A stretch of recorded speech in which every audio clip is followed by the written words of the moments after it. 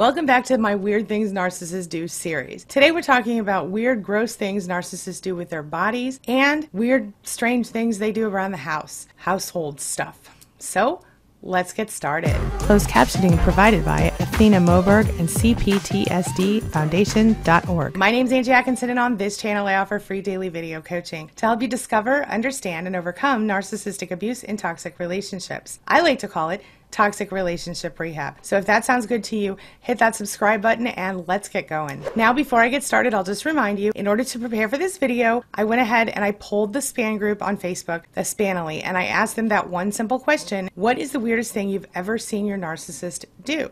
Well, today I'm sharing with you the weirdest things they said their narcissist did in regard to housework stuff and weird, gross body stuff. So, take a look. We're going to talk about weird, gross body stuff first. Number one, fart everywhere. Even lift a leg, then laugh, no matter where she was. Number two, he'd fart walking in front of me. He proudly said he'd have farting contests with his son. He bragged about how stinky it was and how it would make everyone pass out, or something like that. He even talked about farting contests with his recycled local supply when he triangulated us. He probably implied that she was better than I was because I was too modest for not wanting to randomly pass gas in front of people. Now he's got a gaseous match in heaven, or hell. Number three, obsess and describe bowel movements and constipation. In detail. Number four, refuse to use a cup to rinse his mouth after brushing teeth. He would shimmy up to the sink and slurp the water out of the faucet. Number five, she used to pick and blow her nose without a tissue and throw it everywhere. One time, she blew her nose and a huge booger landed on my shirt.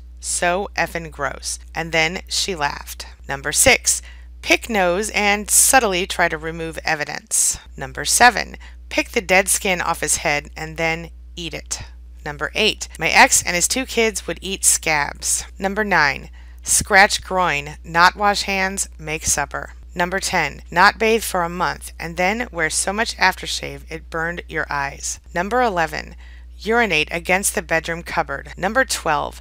Pin me down and suck the snot from my nose. Then call me gross because my dog sleeps on a sheet on my bed. Number 13, he would share everything with his friends, and I mean everything. Nothing was sacred. If he had diarrhea and had to make a quote unquote tampon to shove up his butt, everyone knew it. Asked his neighbor's wife to look at the ingrown hair on his butt. If he peed on my floor because he was intoxicated, everyone knew it. Intimate details of our sex life? Yep, Everyone knew. He would walk around in his tidy whities in front of everyone, even in front of his kids' friends. Male, female, all ages, didn't matter to him. I'd be shaking my head, but everyone else was laughing. Probably at me. Number 14. I was talking about the stretch marks on my butt, and he says, Well, you don't even notice the ones on your stomach. I told him I don't have stretch marks on my stomach. He says, Yes, you do. So I'm sitting here for hours trying to find them. Of course, I found none. Number 15 woke me up by peeing on my ferret's wee wee pads because he felt he didn't need to walk to a bathroom. Guess who had to clean it up and guess who denied it ever happened? Also, asking me every five minutes if he was going bald. Number 16. I checked the history on his computer and it was all pages of naked pregnant women. So weird. What did you think about that? Now let's talk about weird kitchen and housekeeping stuff. Number one, literally leave everything so dirty the health department could have been called. Number two, Wipe off an electric skillet with just a paper towel. After the cat walked across it, leaving footprints and litter on it, threw meat on it, and then, when confronted about the health of that choice, made a comment. It ain't killed me yet. Number three, all utensils, all, have to be facing the same way. All spoons, all forks, all knives. They have to be stacked on top of each other precisely. He watched to make sure it was done correctly. Easy to do, but when you open and close the drawer, the stacks fall to the sides. So he'd stack them a thousand times. Crazy OCD. But the weird thing is, he's a slob. He has a housekeeper that comes in once a week and gets the house immaculate so that it appears he's immaculate. I look back now and I laugh at these insanities, but it wasn't funny back then. It was quite stressful. Thank you, Lord, for freeing me of this covert narcissist and his insane way of living. I am so grateful for my peace. Number four, mine it would lecture me about why it's important to clean the house, then go shut himself in the basement and never lift a finger. Number five, eat out of date food and brag about it. Number six, he refused to share his food. Ever.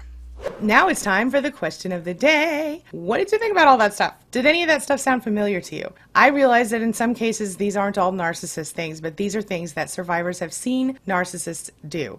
So share your thoughts, share your ideas, share your experiences in the comment section below, and let's talk about it. That's all I've got for you right now, but as always, thank you so much for being a part of my day and a part of my life. And hey, thanks for letting me be a part of yours. It really does mean a lot to me. Now, before I go, make sure you take a look at the videos I'm leaving for you right here and right here. And while you're here, hit that subscribe button right there so we can stay connected and continue on this healing journey together. I'll see you soon.